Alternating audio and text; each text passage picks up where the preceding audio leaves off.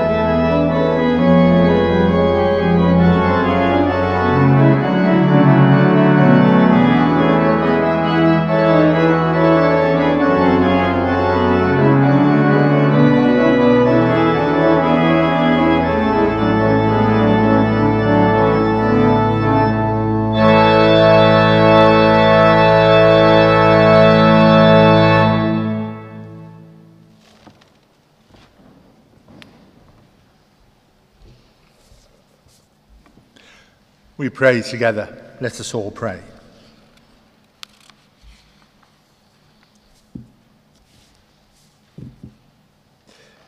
Today is a day for celebration, a day for shouting thank you at the tops of our voices.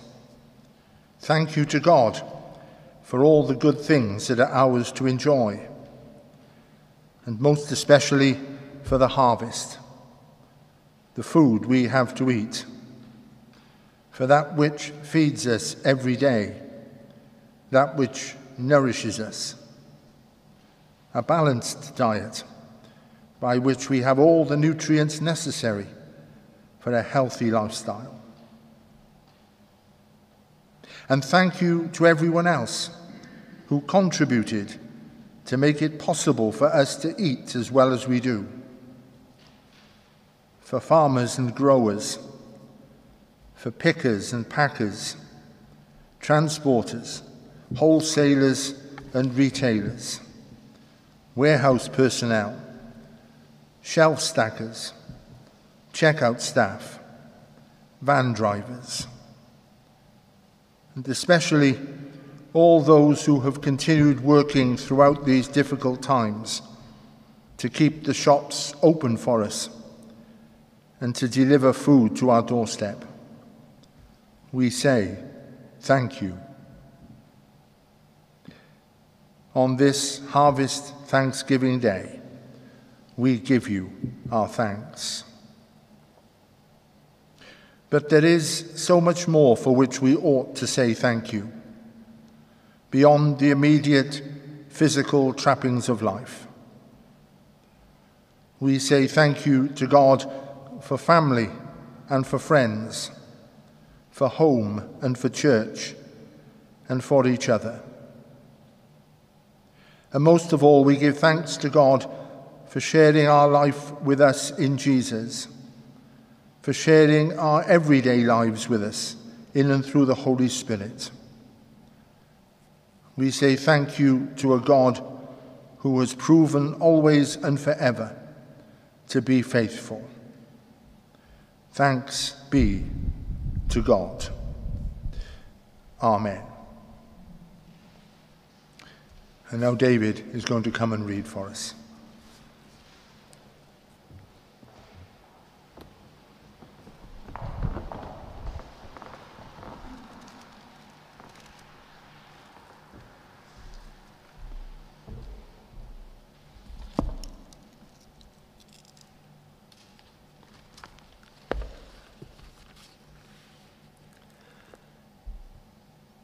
Naomi had a relative on her husband's side, a prominent and well to do member of Elimelech's family.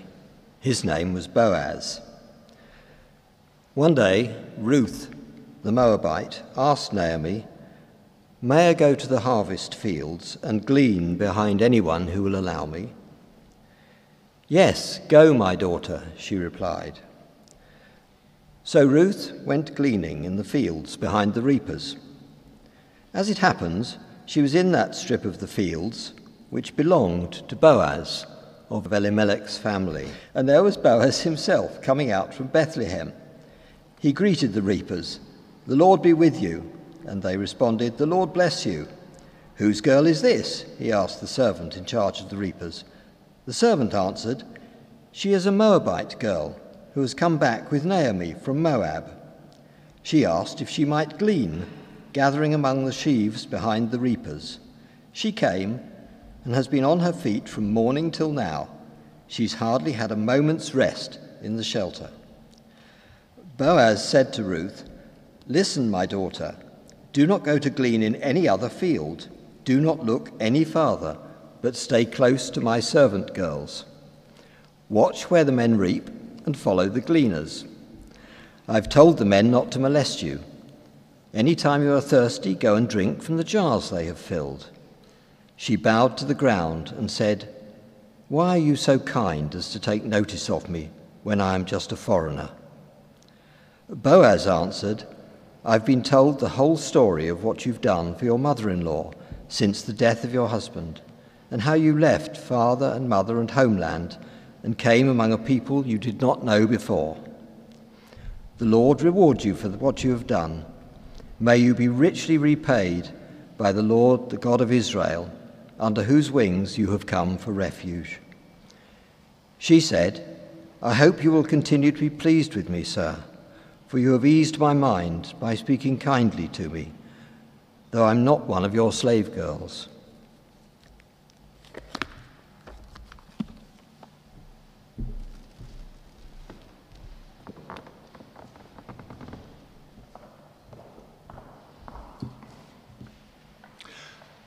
And now we listen to the first of our hymns, the words of which you have printed on the reverse of the order of service. Great is thy faithfulness.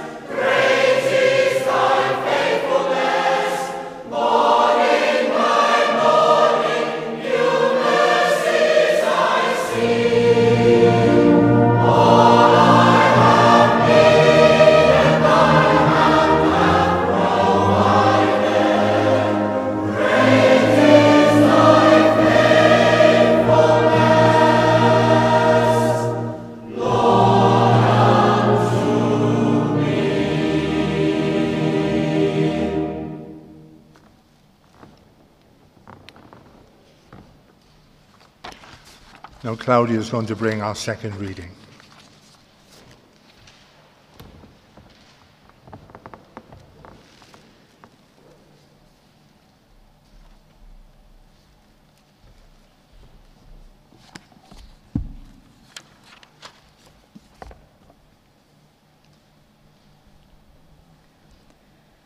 At mealtime, Boaz said to her, Come here and eat some of this bread and dip your morsel in the sour wine. So she sat beside the reapers, and he heaped up for her some parched grain. She ate until she was satisfied, and she had some left over. When she got up to glean, Boaz instructed his young men, Let her glean even among the standing sheaves, and do not reproach her. You must also pull out some handfuls for her from the bundles and leave them for her to glean, and do not rebuke her. So she gleaned in the field until evening. Then she beat out what she had gleaned, and it was about an ephah of barley. She picked it up and came into the town, and her mother in law saw how much she had gleaned. Then she took out and gave her what was left over after she herself had been satisfied. Her mother in law said to her, Where did you glean today? And where have you worked? Blessed be the man who took notice of you. So she told her mother in law with whom had, she had worked and said, The name of the man with whom I work today is Boaz. Then Naomi said to her daughter in law, Blessed be he by the Lord, whose kindness has not forsaken the living or the dead. Naomi also said to her, The man is a relative of ours, one of our nearest kin. Then Ruth the Moabite said, He even said to me, Stay close by my servants until they have finished all my harvest. Naomi said to Ruth, her daughter in law, It is better, my daughter, that you go out with his young women. Otherwise, you might be bothered in another field. So she stayed close to the young women of Boaz, gleaning until the end of the barley and wheat harvest, and she lived with her mother in law.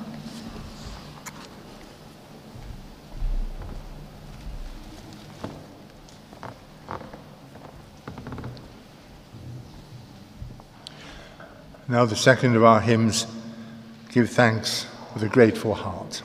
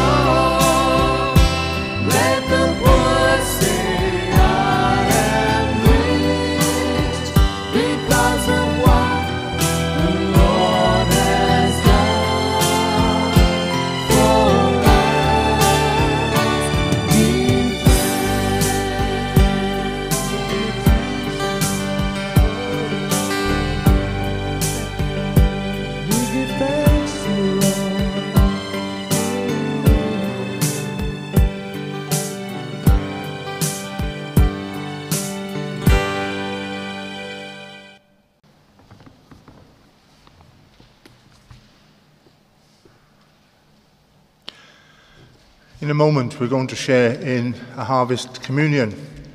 But before then, we're going to do something that we've never done before. Circumstances are strange and create for us opportunities. Today, we're going to receive someone into membership in their absence. There is a story, and it deserves to be told. The Reverend Michael Lay was for many years minister at Trinity Mill Hill. And during that time, he offered his services to the church here, and they were gratefully received. Following the sudden death of the Reverend Peter Barraclough, Michael became the interim moderator of the church here and was responsible, along with the elders and congregation at the time, of securing the Reverend Tony Spring as Peter's successor.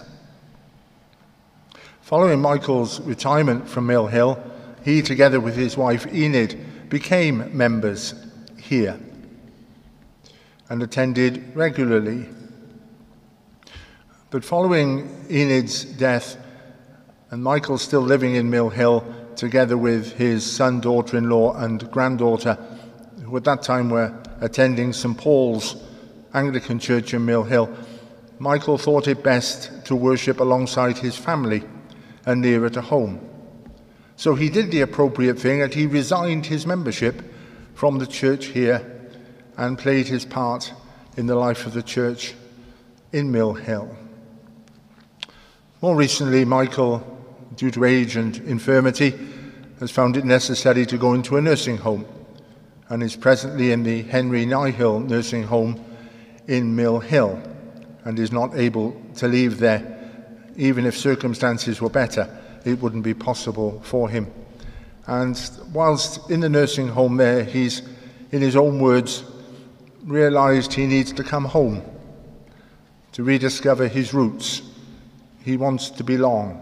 He was raised as a congregationalist and served in many churches up and down the country as that, then latterly within the United Reformed Church. So he contacted me and said, Will you have me back?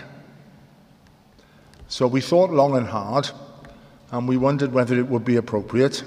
No, we didn't. We took very little time.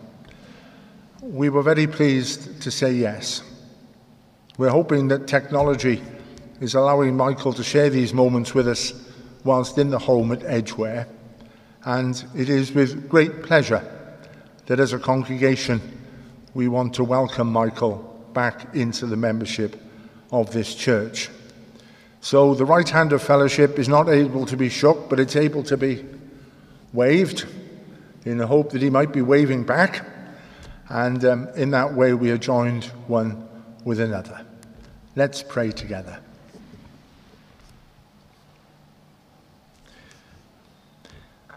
Gracious God, we thank you for the way you work in the lives of your people.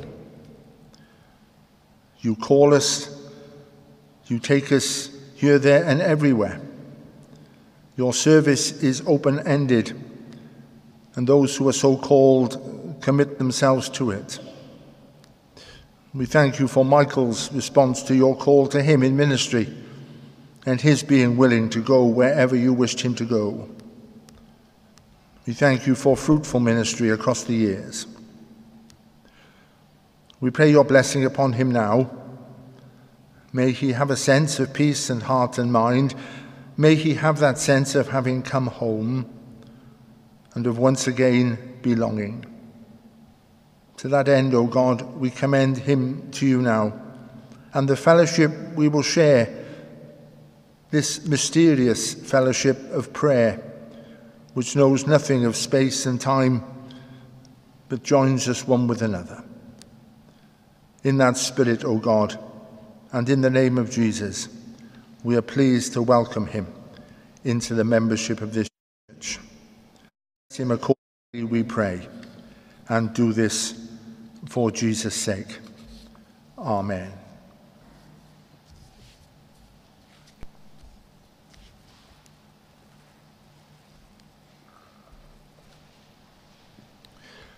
And so we come to share in our harvest communion.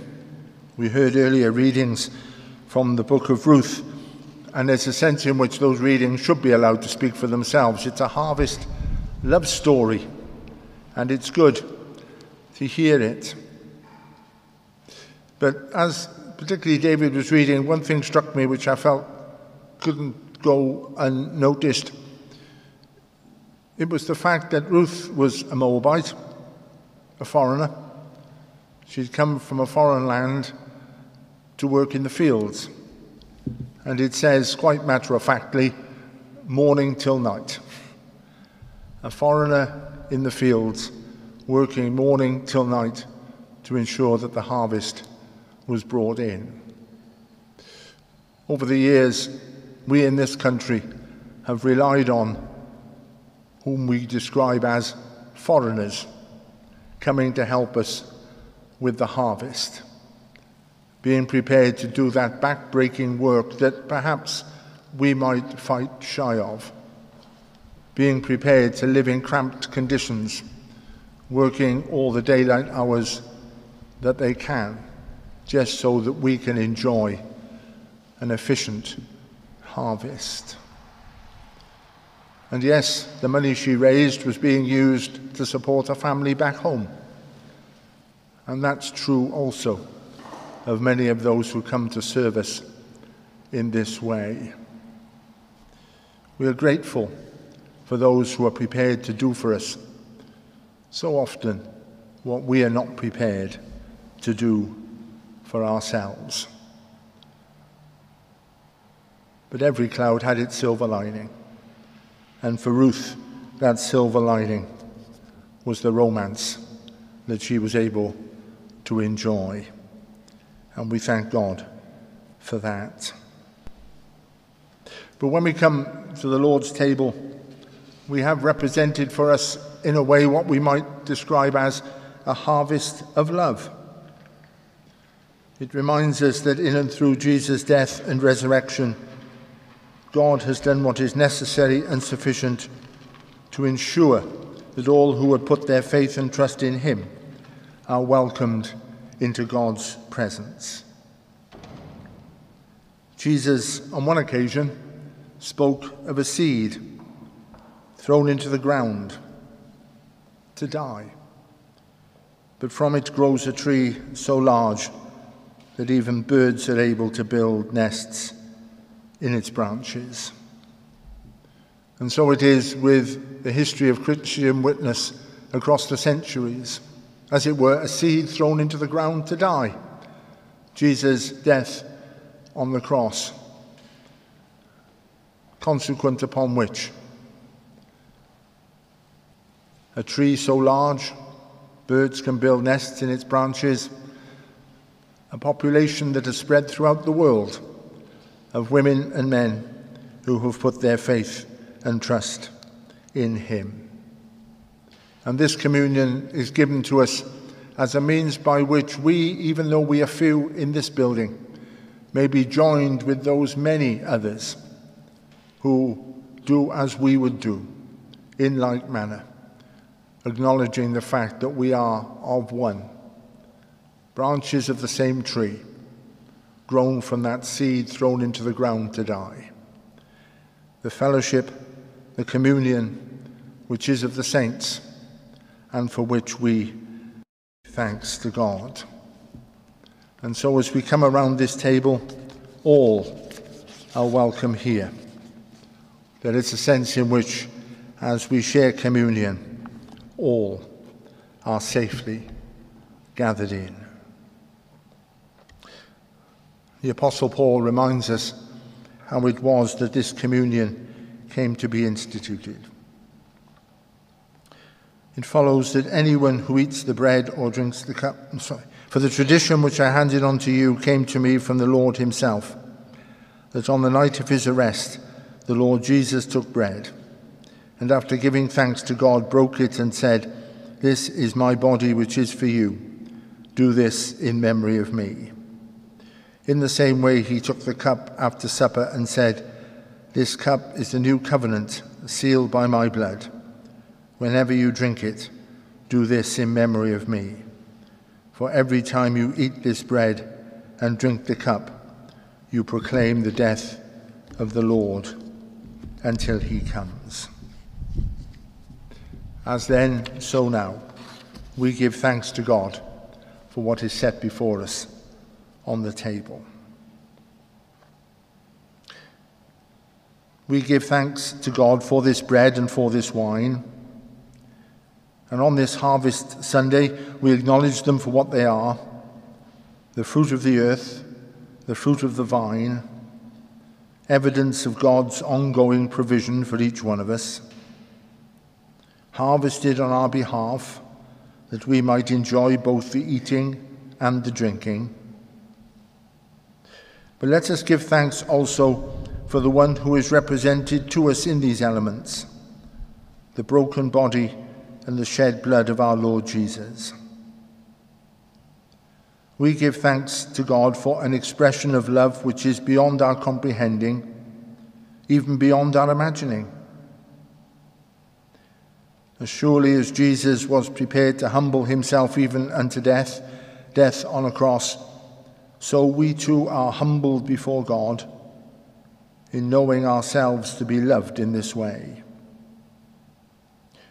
We thank God for that sense of our having been safely gathered in of our having been accounted as righteous in God's sight, of our having been invited into God's presence, where what awaits us is fullness of joy. Bless this time of sharing, we pray, as surely as on this harvest tide we acknowledge the blessings that are ours to share each and every day. Thank you, O God, for your inexpressible gift. Amen.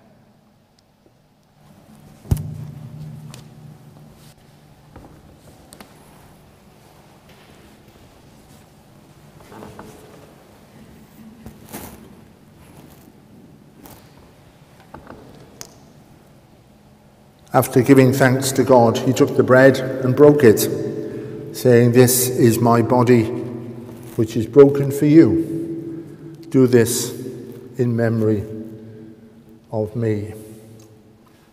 Each one of us should have available to us bread and wine. And as is our custom, we eat the bread immediately we are served. That is, just take the bread and eat it. And in the quietness, remember the privilege that each of us has a personal relationship with God through our Lord Jesus Christ. And if for any reason you don't have bread or wine immediately available to you, just put up your hand and someone will bring it to you. But otherwise, we eat of the bread.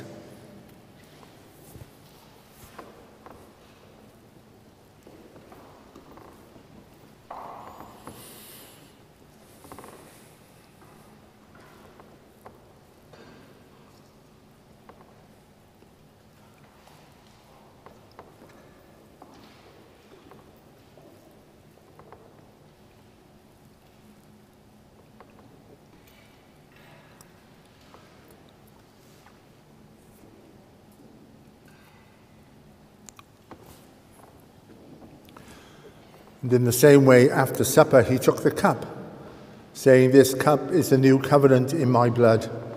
Do this as often as you drink it in memory of me. And again, as is our custom, we drink alongside each other, reminded that we are indeed all one in Christ Jesus. So please take hold of the little glasses, and then when we are ready, we drink together.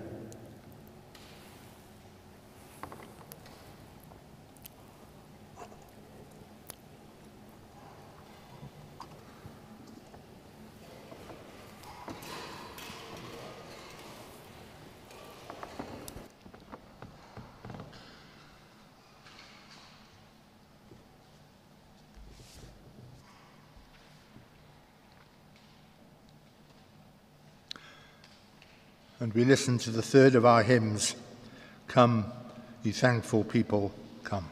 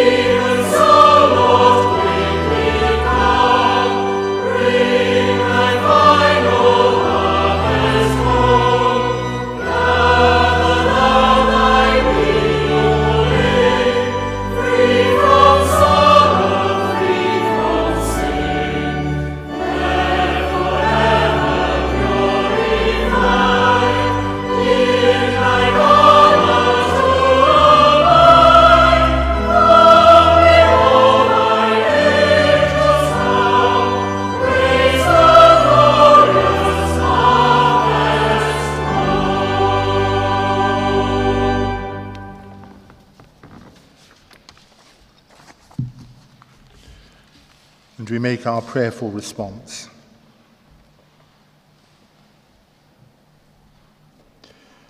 And on this Harvest Sunday, we pray in particular for everyone involved in the production of food to eat, especially mindful of those for whom these are difficult times in terms of security of employment and of economic well being and of changing weather patterns.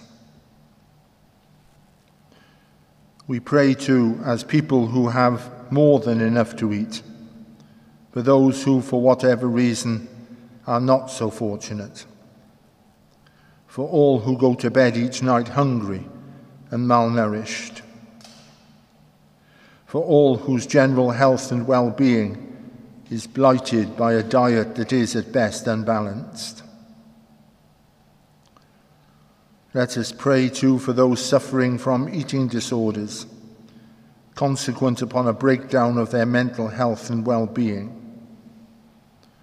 and for all whose general mental health is being adversely affected by the present situation under which we all have to live. And we pray for one another, our own personal circumstances, and for our church and our wider fellowship, that we would continue to be supportive of each other in every way possible. Amen. And now we listen as Peter plays for us the voluntary.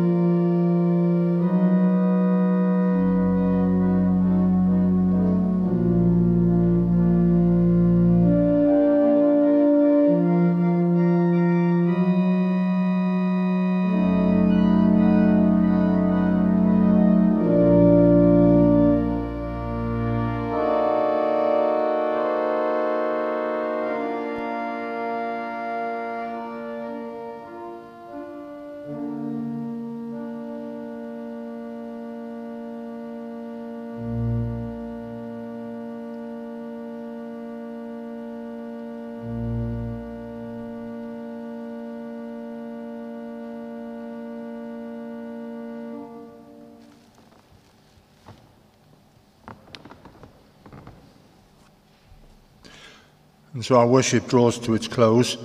Say a very big thank you for the very kind donations of food that we see displayed at the front of the church and which will be delivered during this week to Homeless Action in Barnet. Thank you for your generosity in that respect and also to all who've made this morning's service possible, particularly the opportunity to share communion in the way we did. Obviously, we are living in difficult times. Rules and regulations change almost without warning. So please keep alert, stay safe, and keep well.